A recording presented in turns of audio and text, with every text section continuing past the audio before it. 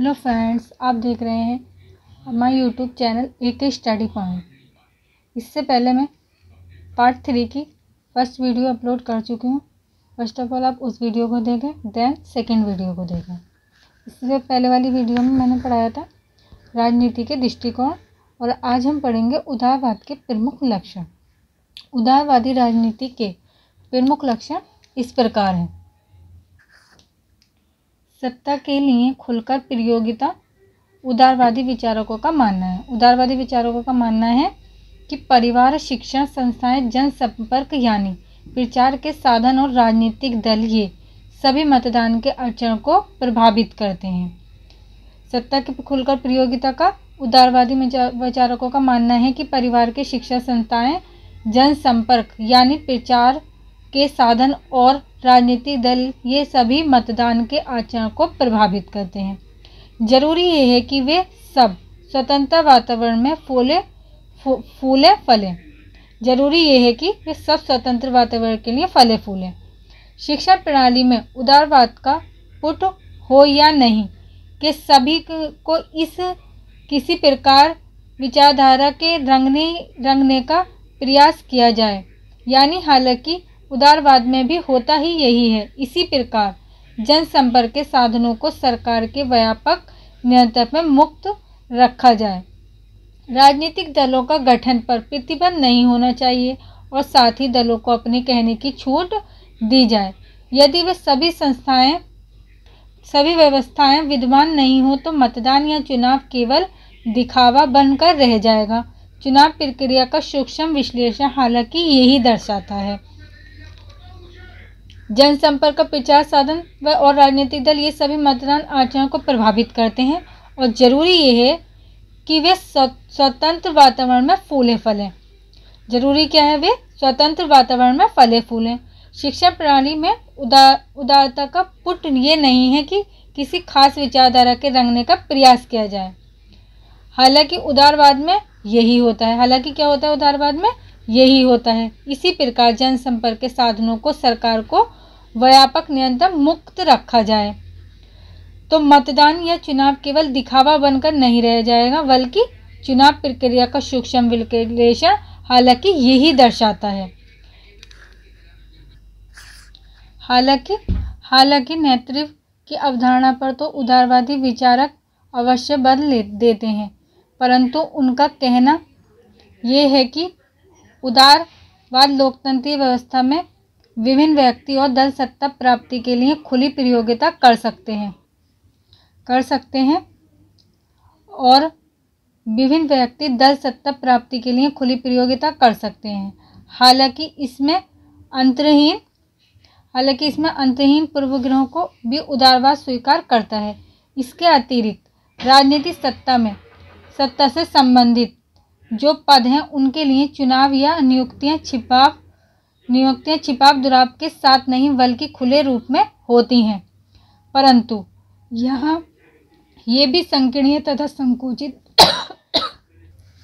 इसके अतिरिक्त राजनीतिक सत्ता से संबंधित पद हैं। उनके चुनाव या नियुक्तियाँ छिपाव दुराव के साथ नहीं, बल्कि खुले रूप में होती हैं। परंतु यहाँ ये भी संकीर्णीय तथा संकुचित हाथों में सीमित रहती हैं। Next point is next point राजनीतिक निर्णय उदारवादी सरकारें मुख्यतः व्यक्तिगत स्वतंत्रता में आस्था रखती हैं राजनीतिक निर्णय उदारवादी सरकारें मुख्यतः व्यक्तिगत स्वतंत्रता में आस्था रखती हैं अखबार रेडियो टेलीविज़न जो सरकार के एकाधिकार में मुक्त रहते हैं हालाँकि प्रत्येक उदारवादी में ये सच्चाई नहीं है काफ़ी सीमा तक राजनीतिक निर्णयों को प्रभावित करते हैं काफ़ी सीमा तक राजनीतिक निर्णयों को प्रभावित करते हैं। इसके अतिरिक्त ट्रेड यूनियन, धार्मिक समुदाय और अन्य संघ या संस्थाएँ भी सरकार की आलोचना करने की स्वतंत्रता रखती हैं। फलस्वरूप सरकारी निर्णयों को प्रभावित करने की क्षमता रखती हैं। फलस्वरूप सरकारी निर्णयों को प्रभावित करने की क्षमता भी रखती हैं। फॉर्फस फॉर्फ सर पनडुब्बी आदि कांडों ने जिन्हें अखबारों मैंने भारत उजागर किया। भारतीय राजनीति रंगमंच को झकझोर कर रख दिया, जिन्होंने अखबार में रोज़गार रोज़गार किया और भारतीय राजनीति रंगमंच को झंकोर कर रख दिया। जिन्होंने अखबार में काम किया, उन्होंने भारतीय राजनीति को रंगमंच को झंझोर कर रख दिया। इससे संदेह नहीं, इसी तरह इंग्लैंड और अमेरिका शरीक उदारवादी देशों में प्रभावक गुट भी सरकारी निर्णयों को प्रभावित करने में एक महत्वपूर्ण भूमिका निभाते हैं। इंग्लैंड के परफ्यूम, इंग्लैंड के परफ्यूमों व अमेरिका के वाट, वाटरगेट कांडों ने इन देशों के राजनीतिक रंगमंच को जिस तरह प्रभावित किया है, वे सर्वविदित हैं। अतएव निर्णयों को लेने और उन्हें क्रियान्वित करने में नौकरशाही का भले ही एक महत्वपूर्ण हाथ रहता हो परंतु उदारवादी राजनीति के अंतर्गत किसी भी गुट का राजनीति पर एकाधिकार नियंत्रण में कायम नहीं हो पाता। भले ही नौकरशाही एक महत्वपूर्ण हाथ रहता हो, परंतु उदारवादी राजनीति के अंतर्गत किसी भी गुट का राजनीति पर एकाधिकारी नियंत्रण कायम नहीं हो पाता। नेक्स्ट पॉइंट इज़ निष्ठा और विचारों का पर्सन निष्ठा और विचारों का प्रश्न क्या है फ्रेंड्स उदारवादी लोकतंत्रीय देशों में कोई एक ऐसी स्पष्ट विचारधारा नहीं होती जो जो संपूर्ण राजनीति का संचालन कर सके। फासिट या समग्रवादी सरीखे, सर्व अधिकारी शासक भले ही व्यापक जन समर्थन हासिल कर लें, परंतु व्यापक जन समर्थन प्राप्ति करने के लिए उन्हें एक खास तरीके की संक्रियता का सहारा लेना पड़ता है। इन देशों में एक ही दल या एक ही विचारक राजनीति का संचालन करती हुई दिखती है। दूसरी ओर उदारवादी लोकतंत्री देशों में एक से अधिक दलों के होने के, होने से विचारकों व निष्ठाओं का क्षेत्र कहीं ज़्यादा अधिक व्यापक होता है। परंतु वास्तविकता सदैव यही होती है जो ये ये ज़रूरी नहीं है। दूसरी ओर फ्रेंड्स, क्या है? एक और उदारवादी लोकतंत्री देशों में एक से अधिक दलों से होने के कारण होने से विचारकों व निष्ठाओं का क्षेत्र कहीं ज़्यादा अधिक व्यापक होता है। परंतु वास्तविकता सदैव यही होती है, ये ज़रूरी नहीं है। नेक्स्ट पॉइंट इज़ उदारवादी राजनीति का मूल्यकान अठारहवीं व उन्नीसवीं सदी में उदारवाद में ने बहुत महत्वपूर्ण भूमिका निभाई। अठारहवीं और उन्नीसवीं शताब्दी में उदारवाद ने बहुत महत्वपूर्ण भूमिका निभाई। राजनीति के राजनीति के क्षेत्र में उदारवाद की मुख्य उपलब्धियाँ, प्रतिनिधि और लोकतंत्र की स्थापना स्वतंत्र शासन का सिद्धांत। का प्रचार लोकसत्ता के सिद्धांत की स्थापना तथा लोकमत पर विशेष बल दिया जाना सामाजिक क्षेत्र में उदारवादियों ने एक ऐसे समाज की स्थापना पर बल दिया है जिसमें जाति, रंग, धर्म, भाषा व लिंग के आधार पर किसी को भी मनोवचित अधिकारों से वंचित न किया जाए।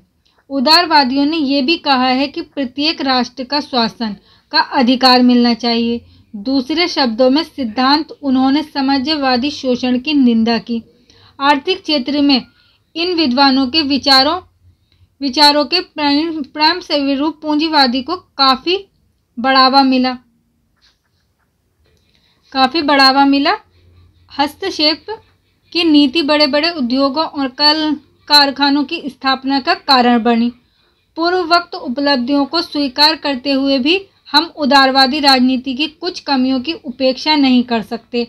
उदारवादी राजनीतिक व्यवस्थाओं ने समाजवादी मूल्यों की स्थापना की, जिसके फलस्वरूप एक विकसित राजनीति व्यवस्था अल्प विकसित एवं विकासशील शासन व्यवस्थाओं और देशों का शोषण करती है। भले ही इन संभित देशों की शासन व्यवस्थाएँ उदारवादी प्रकृति की क्यों न हो, पूंजी निवेश के नाम पर किस तरह शोषण होता है, ये अब सर्वदादित सच्चाई है। मार्क्सवादियों को कहना है कि उदारवादी देशों ने जनता का शासन जैसे कोई चीज़ नहीं, क्योंकि राजनीति पर धन को प्रभुत्व कायम कायम होने हो गया। बड़े बड़े उद्योगों के मालिक प्रचार साधन पर नियंत्रण रखते हैं और वे राजनीतिक दलों पर छाए हुए हैं। इसलिए उदारवादी लोकतंत्र देशों की सरकारें ऐसे कानून बनाती हैं जो उद्योगपतियों के हित में हों। इसका कारण, पूंजीवादी व्यवस्था के अंतर्गत जन जन साधारण के हितों की रक्षा संभव है ही नहीं। कुछ विद्वानों ने यहाँ तक कहा है कि उदारवादी लोकतंत्रीय देशों में विचारकों का स्वतंत्रता जैसी उद्योगपतियों का ये प्रयत्न रहता है कि जनता को अपने आर्थिक कष्टों से बेखबर रहे और उसमें बगावत की भावना पैदा की। पैदा ही न हो, आज बीसवीं शताब्दी के उत्तरार्ध में भी उदारवादी शासन व्यवस्थाओं में बंधुआ मजदूर व रंग भेद की नीति पाई जाती है, जो किसी भी दृष्टि से उदारवाद के लिए शोभनीय नहीं माना जा सकता। इसी तरह भूखमरी व गरीबी जो उदारवादी व्यवस्थाओं में व्याप्त है, किसी भी तरह मनोवांछित कह नहीं कहे जा सकते। इन्हीं कमियों के कारण उदारवाद के भविष्य के सामने एक प्रश्न चिन्ह लगा है, जो निरंतर बड़ा होता जा रहा है। उदारवादी सरकारों का भविष्य इस बात पर निर्भर करता है कि वे किस सीमा तक नागरिकों को आराम व विश्राम की सुविधाएँ प्रदान कर पाती हैं और साथ ही किस सीमा तक वे नागरिकों और स्वतंत्रताओं की रक्षा कर पाती हैं। उदारवादी राजनीति नागरिकों से आत्म संयम की उपेक्षा रखती है। इस टॉपिक में फ्रेंड्स क्या है? लोक सत्ता लोक सत्ता के सिद्धांत की स्थापना तथा लोकपथ पर विश्लेषण बल दिया जाना चाहिए। लोक सत्ता के स्थान पर और लोकमत के विश्लेष विशेष पर बल दिया जाना चाहिए। और उदारवादियों ने एक ऐसे समाज की स्थापना पर भी बल दिया है जिसमें जाति, रंग, भेदभाव के आधार पर किसी को मनोवाचित और अधिकारों से वांछित न किया जाए। रंग, भेदभाव को और मनोवांचित से इन्हें वांछित न अधिकारों से वांछित न किया जाए। और इसमें यह भी है फ्रेंड्स उदारवादियों ने यह भी कहा है कि प्रत्येक राष्ट्र को शासन का अधिकार मिलना चाहिए। हर एक नागरिक को शासन का अधिकार मिलना चाहिए। और दूसरे शब्दों में सिद्धांत, उन्होंने समाजवादी शोषण की निंदा की है। उन्होंने समाजवादी शोषण की निंदा भी की है। और आर्थिक क्षेत्र में इन विद्वानों के विचारों को के प्राम स्वरूप पूंजीवादी को काफ़ी बढ़ावा मिला है। इससे क्या है फ्रेंड्स पूंजीवादी को काफ़ी बढ़ावा भी मिला है। बढ़ावा भी मिला है और उदारवादी राजनीतिक व्यवस्थाओं में समाजवादी मूल्यों की स्थापना की, जिसके फलस्वरूप एक विकसित राजनीति व्यवस्था एवं विकासशील शासन व्यवस्थाओं और देशों को शोषण करती है। जो शोषण करते हैं, भले ही इन संबंध देशों की शासन व्यवस्थाएँ उदारवादी प्रकृति की हों, की ही क्यों ना हो पूंजी निवेश के नाम पर किस तरह शोषण होता है? पूंजी निवेश पर किस तरह शोषण होता है? ये अब एक सर्ववादित सच्चाई है। और मार्क्सवादियों का क्या कहना है फ्रेंड्स? कि वे उदारवादी देशों में जनता का शासन जैसी कोई चीज़ नहीं क्योंकि राजनीति पर धन का प्रभुत्व कायम हो गया है। चाहे बड़े बड़े ही उद्योगों के, के मालिक प्रचारों पर संसाधनों का नियंत्रण रखते हों पर वे राजनीति दलों पर छाए हुए हैं। क्या है? फिर भी वो राजनीति दलों पर छाए हुए हैं। इसीलिए उदारवादी लोकतंत्री देशों की सरकार ऐसे कानून बनाती हैं जो उद्योगपतियों के हित में हों। फिर फ्रेंड्स, इसीलिए उदारवादी लोकतंत्री देशों की सरकारें ऐसे ही कानून बनाती हैं जो उद्योगपतियों के हित में हों। इस कारण पूंजीवादी व्यवस्था के अंतर्गत जनसाधारण के हितों की रक्षा संभव संभव ही नहीं। कुछ विद्वानों ने यहाँ तक कहा है कि उदारवादी लोकतंत्री देशों में विचारों और स्वतंत्रता जैसी उद्योगपतियों का ये प्रयत्न रहता है कि जनता को आर्थिक कष्टों से बेखबर रखें और उसमें बगावत की भावना पैदा ही ना हो। और आज बीसवीं शताब्दी के उत्तर में उदारवादी ने शासन की व्यवस्थाओं में बंधुआ मज़बूत, बंधुआ मजदूर व रंग भेद की नीति पाई है। पाई जाती है, जो किसी भी दृष्टि से उदारवाद के लिए शोभनीय नहीं माना जाता है। जो किसी भी दृष्टि में उदारवाद के लिए शोभनीय नहीं माना जा सकता। इसी तरह, भूखमरी व गरीबी, जो उदारवादी व्यवस्थाओं में व्यापत है, किसी भी तरह मनोवांचित नहीं कहे जा सकते। इन्हीं इन्हीं उदारवादियों और सरकारों के भविष्य इस बात पर निर्भर करता है कि उदारवादी सरकारों का भविष्य इसी बात पर निर्भर करता है कि वे किस सीमा तक नागरिकों का आराम व विश्राम की सुविधाएँ प्रदान करती कर पाती हैं और साथ ही किस सीमा तक वे ना, नागरिक स्वतंत्रताओं की रक्षा कर पाती है। उदारवादी राजनीति नागरिकों से आत्मसंयम की अपेक्षा रखती है। नेक्स्ट पॉइंट इज़ राजनीति के विषय में मार्क्सवादी दृष्टिकोण। जैसा कि हमने ऊपर बतलाया है कि उदारवादियों के अनुसार सामान्य हितों की पूर्ति का साधन और विवादों व झगड़ों के ग्रस्त समाज में सामंजस्य लाने का प्रयास करती है। उदारवादियों के अनुसार संवैधानिक व शांतिपूर्ण उपायों के द्वारा समाज में परिवर्तन लाया जा सकता है। जैसा कि हमने ऊपर पढ़ा है, बतलाया है कि उदारवादियों के अनुसार सामान्य हितों की पूर्ति का साधन है और विवादों व झगड़ों से झगड़ों में गिरस्त समाज में सामंजस्य लाने का प्रयास करती है। उदारवादियों के अनुसार संवैधानिक व शांतिपूर्ण उपायों के द्वारा समाज में परिवर्तन लाया जा सकता है। इसके ठीक विपरीत मार्क्सवादियों ने राज्य को वर्गीय संरचना और राजनीति के संघर्ष के रूप में देखा है। उनके अनुसार वे वर्ग जो आर्थिक शक्ति के संपन्न होता है, राजनीति के माध्यम से समाज को संपूर्ण राजनीति व संस्कृति ढांचे पर छाया हुआ है। ये केवल अपने हित की बात सोचता है और जनसाधारण के हितों में, हितों से उसकी कोई वास्तव वास्ता नहीं है। नहीं होता। कार्ल मार्क्स एगिलेंस और लेनिन ने राज्य को स्पष्टता वर्गीय संघर्षों की उपज और वर्गीय भेदों को बढ़ावा देने का साधन माना है। एगिलस ने लिखा है कि राज्य उस यंत्र अथवा मशीन का नाम है जिसके द्वारा एक वर्ग दूसरे वर्ग का दमन करता है। हर युग में सरकार का लक्ष्य ये रहा, वे दीन और हीन लोगों को सताए। इस वर्ग का कल्याण तब तक संभव नहीं जब तक कि सशांत क्रांति के द्वारा राज सत्ता पर कब्जा नहीं कर लेता। राज सत्ता को हत्याए बिना उसका उद्धार उधार नहीं होगा। ये एक ठोस एवं सशक्त सच्चाई है। जैसा कि हमने ऊपर बतलाया कि उदारवादियों के अनुसार सामान्य हितों की पूर्ति का एक साधन है। इसके ठीक विपरीत मार्क्सवादियों मार्क्सवादियों ने राज्य को वर्गीय संरचना और राजनीति को संघर्ष के रूप में देखा है। देखा है और उनके अनुसार वे वर्ग जो आर्थिक शक्ति से संपन्न होता है। राजनीति के माध्यम से समाज के संपूर्ण राजनीति व संस्कृति ढांचे पर छाया हुआ है। क्या है फ्रेंड्स, वो राजनीति व संस्कृति के ढांचे पर छाया हुआ है। कार्ल मार्क्स के एग्लिंस और लेनिन राज्य को स्पष्टता और वर्गीय संघर्षों की उपज और वर्गीय भेदों को बढ़ावा देने का साधन माना है। और एंग्लिश ने यह भी लिखा है कि राज्य उस यंत्र अथवा मशीन का नाम है राज्य उस यंत्र अथवा मशीन का नाम है जिसके द्वारा एक वर्ग दूसरे वर्ग का दमन करता है। एग्लिंस के अनुसार क्या है? जो एक वर्ग दूसरे वर्ग का दमन करता है। हर युग में सरकार का लक्ष्य ये रहा कि वे दीन हीन लोगों को सताए। इस वर्ग का कल्याण तब तक संभव नहीं, जब तक कि सशक्त क्रांति के द्वारा राज सत्ता पर कब्जा नहीं कर लेता। राज्य सत्ता को हत्याए बिना उसका उद्धार नहीं होगा। ये एक ठोस सशक्त सच्चाई। है क्या है पॉइंट एक सच्चाई है। नेक्स्ट पॉइंट इज़ राज्य एक वर्ग द्वारा दूसरे वर्ग को दबाने का साधन है।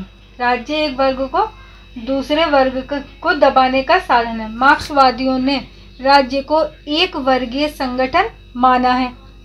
माना है और उनके अनुसार हर युग में राजनीति शक्ति उन लोगों के हाथ में रहती रही जिनका उत्पादन के साधनों पर अधिकार रहा।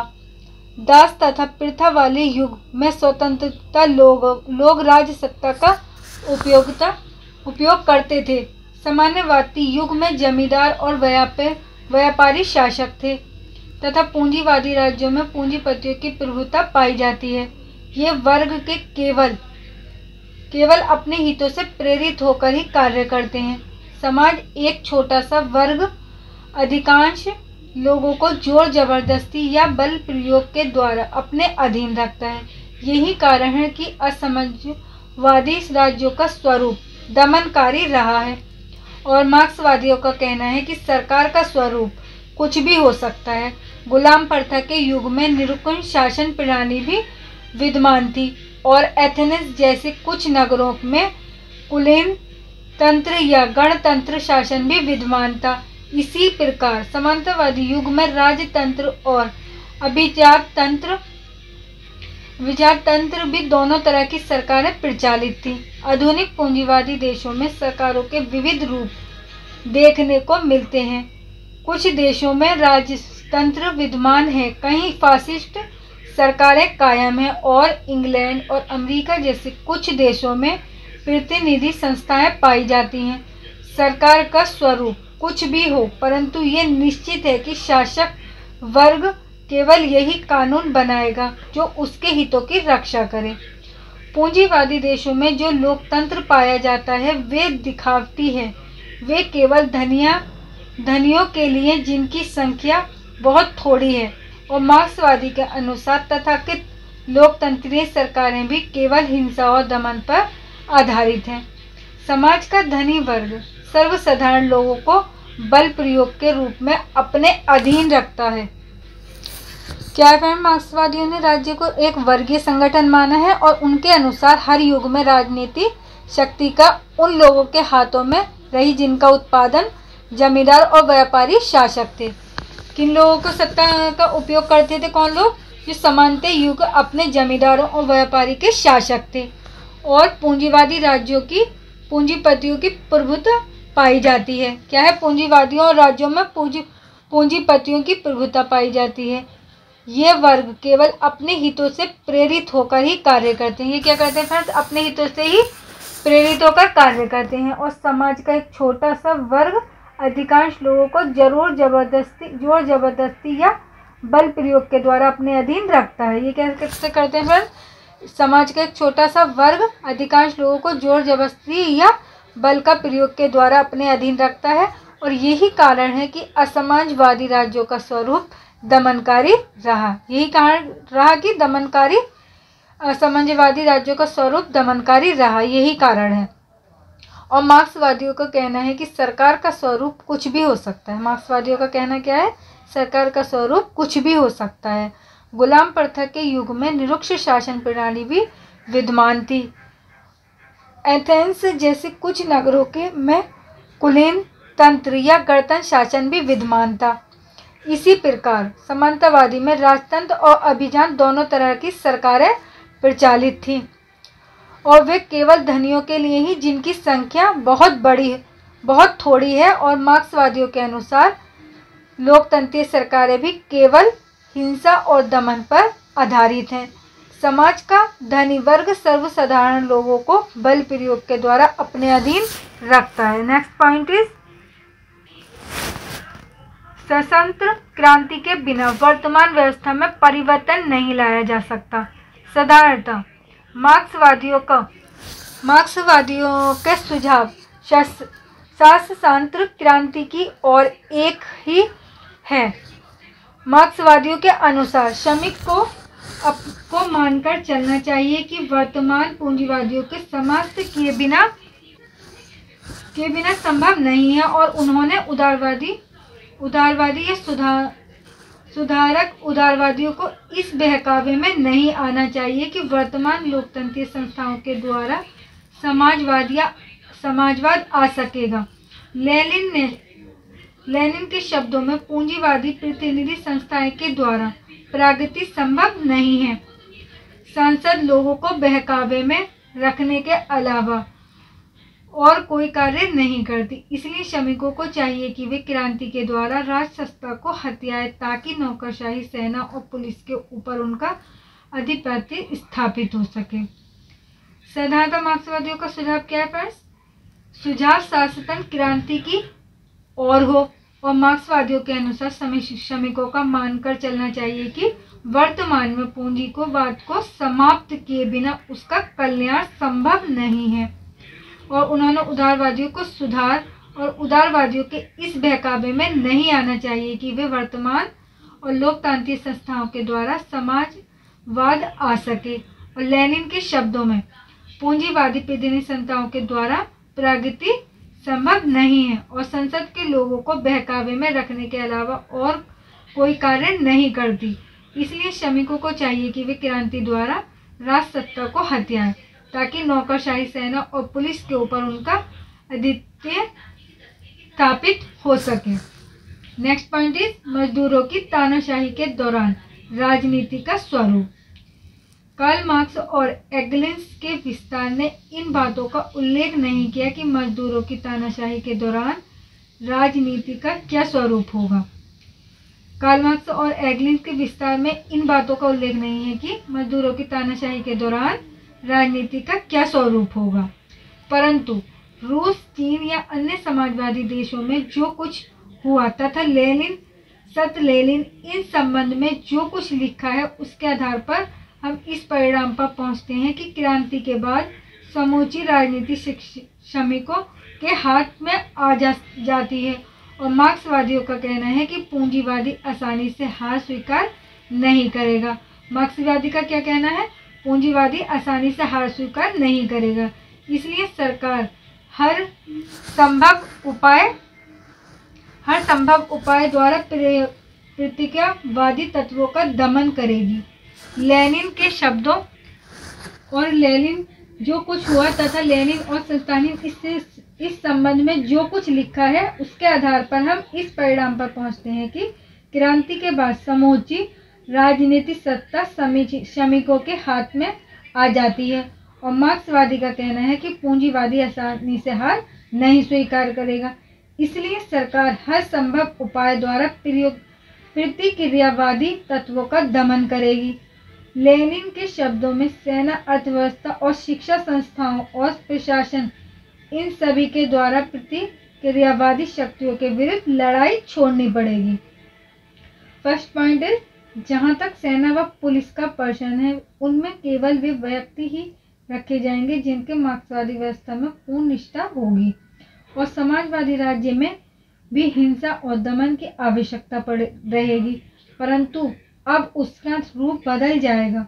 पूंजीवादी व्यवस्था में सेना का उपयोग उन लोगों का दमन के लिए किया जाता है जो समाजवाद के लिए लड़ रहे हों। परंतु समाजवादी व्यवस्था में उसका उपयोग पूंजीपतियों और उनके दल, दलालों के विनाश के लिए किया जाएगा ताकि समाज में व्याप्त शोषण के विभिन्न सत्य संस्था का अंत हो सके। पुलिस का प्रश्न है कि उनमें केवल वे व्यक्ति ही रखे जाएँगे जिनका मार्क्सवादी व्यवस्था में पूर्ण निष्ठा होगी और समाजवादी राज्य में भी हिंसा और दमन की आवश्यकता रहेगी। पर अब उसका रूप बदल जाएगा और पूंजीवादी व्यवस्था में, में सेना का उपयोग उन लोगों के दमन के लिए किया जाएगा, किया जाता है जो समाजवादी के लिए लड़ रहे हों। परंतु समाजवादी व्यवस्था में उसका उपयोग पूंजीपतियों और उनके दलालों का विनाश के लिए किया जाएगा, ताकि समाज में व्याप्त शोषण की भीव संस्था का अंत हो सके। सेकेंड पॉइंट इज़ आर्थिक क्षेत्र में सरकार का प्रथम कार्य ये होगा कि बिजली, रेल, बैंक और बड़े बड़े कल कारखानों को वे अपने हाथ में ले ले। बड़े बड़े कृषि फार्मों का भी राष्ट्रीयकरण कर दिया जाएगा। परंतु छोटे छोटे खेत किसानों के प्राण, किसानों के पास बने रहेंगे। आर्थिक आयोजन के द्वारा उत्पादन में वृद्धि की जाएगी और श्रमिक जब अपनी शक्ति और आंदोलन में न लगाकर देश की संपदा को बढ़ाने में लगाएँगे। प्रत्येक व्यक्ति के लिए मेहनत करना ज़रूरी होगा और उस, उसे उन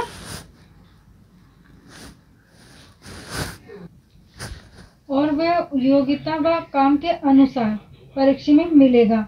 यहाँ ये उल्लेखनीय है कि सोवियत रूस का पहला देश है, जहाँ नागरिकों को काम पाने का अधिकार कानूनी आधार पर प्रदान किया जाएगा। किया गया चीनी जन गणराज्य में भी ये अधिकार लोगों को कानूनी आधार पर दिया गया है। परीक्षा में मिलेगा और यहाँ ये उल्लेखनीय है कि सोवियत रूस का पहला ऐसा देश है। सोवियत रूस का पहला ऐसा देश है जहाँ नागरिकों को काम पाने का अधिकार कानूनी आधार पर प्रदान किया गया। चीनी जनगणराज्य में ये भी अधिकार लोगों को कानूनी आधार पर दे दिया गया। नेक्स्ट पॉइंट इज़ राजनीतिक प्रक्रिया का मार्क्सवादी दृष्टिकोण। मार्क्सवादी समाज की वर्गीय संरचना पर प्रकाश डालता है, प्रकाश डालता है और, प्रकाश डालता है और इस बात पर बल देता है कि राज्य की संस्था पर उस सामाजिक वर्ग का नियंत्रण होता है, जिसके हाथों में उत्पादन और वितरण के साधन केंद्रित केंद्रित हैं और मार्क्सवादी ने सर्वहारा वर्ग के शोषण के चिरस्थायी नहीं माना। उनका कहना है कि पूंजीवाद का विनाश विनाश अनिवार्य और मार्क्सवादी एक क्रांति का पैगाम है। पैगाम है और मार्क्सवादी ने उन विधियों का विस्तार से विश्लेषण किया है, जिन्हें अपना अपनाकर बुज़ुर्ग अवर्ग का अंत किया जा सकता है। अतः मार्क्सवादी राजनीति के अंतर्गत वर्ग संघर्ष क्रांति के सिद्धांत और श्रमिक की तानाशाही पर बहुत महत्वपूर्ण स्थान है। इन तीनों पर संक्षिप्त रूप से विचार करें। अब हम पढ़ेंगे वर्ग, फ़र्स्ट पॉइंट इज़ वर्ग संघर्ष। फ्रेंड्स, राजनीति की प्रक्रिया का मार्क्सवादी दृष्टिकोण का पॉइंट हम नेक्स्ट वीडियो में पढ़ेंगे। वीडियो ज़्यादा लेंदी हो जाएगी, आप लोगों को समझ में भी नहीं आएगा, इसलिए हम ये नेक्स्ट वीडियो में पढ़ेंगे। अगर आप लोगों को मेरी वीडियो पसंद आए तो मेरी वीडियो को लाइक, शेयर, सब्सक्राइब करें और बेल आइकन को प्रेस करें, जिससे आने वाली वीडियो की नोटिफिकेशन आप लोगों के पास सबसे पहले पहुँचे, पहुँचेगी। Thanks for watching my video